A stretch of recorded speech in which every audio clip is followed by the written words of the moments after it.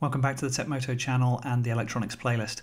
Today we're going to be looking at transistors.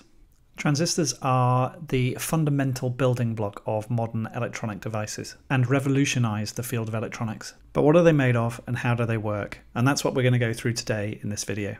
Most transistors are made up of very pure silicon or germanium, but other types of semiconductor materials can also be used. But what is a semiconductor?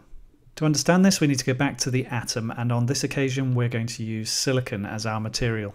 Here is a representation of a silicon atom. Now, a silicon atom has 14 protons and 14 electrons, but we're going to focus on the four electrons in its outer shell. The outermost shell of the silicon atom can hold up to 8 electrons, and so the silicon atom needs 4 more electrons to become most stable. Now, if we add in a few more silicon atoms around the outside of the original atom, you can see that the silicon atom forms four covalent bonds with the four neighboring atoms. In covalent bonding, each outer electron is shared by two atoms. What this means is that all of the outer electrons are tightly bound to the nucleus of the atoms because the sharing of electrons with neighboring atoms. In intrinsic semiconductors, the free electrons are not present at absolute zero temperature, and therefore this material behaves as a perfect insulator.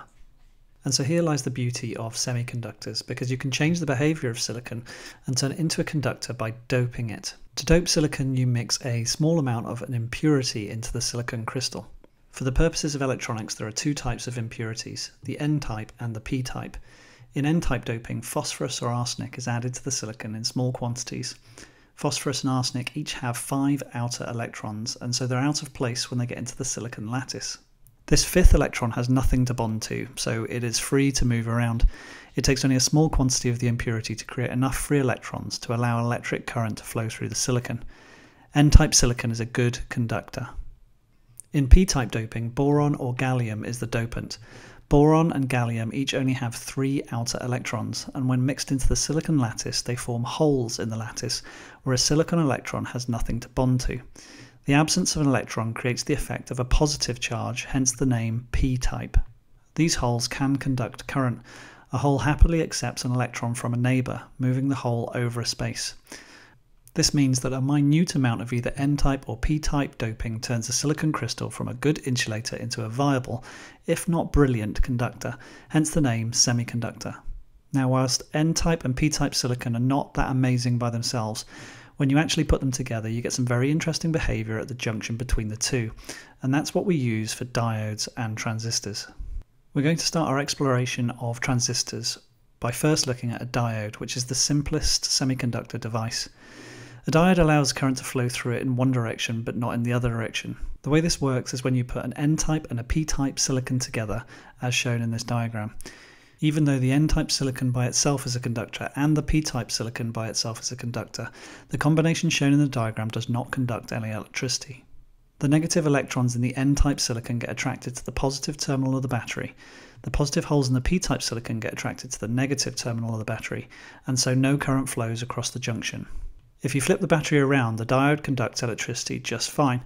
The free electrons of the N-type silicon are repelled by the negative terminal of the battery. The holes in the P-type silicon are repelled by the positive terminal.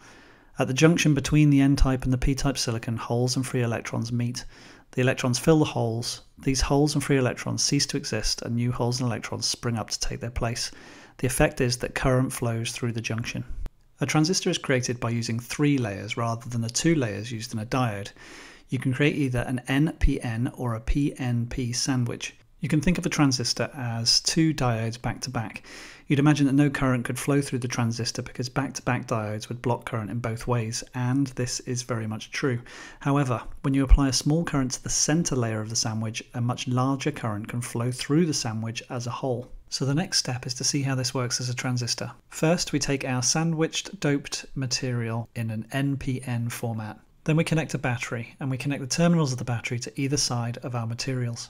At this point no current is flowing as previously described, as the small layer of positive material sandwiched between the negative material is stopping the current flow. By adding a secondary battery with the negative terminal connected to the common negative and the positive terminal connected to the positive material, we can allow the electrons to flow through the semiconductor material.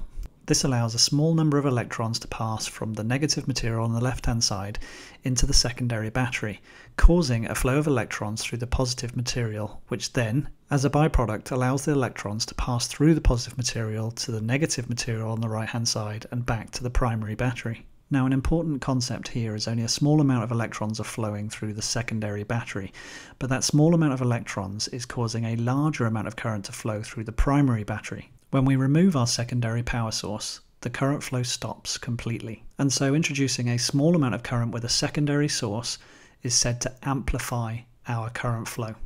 These three pins going into our semiconductor material which makes up our transistor are labelled collector, base and emitter.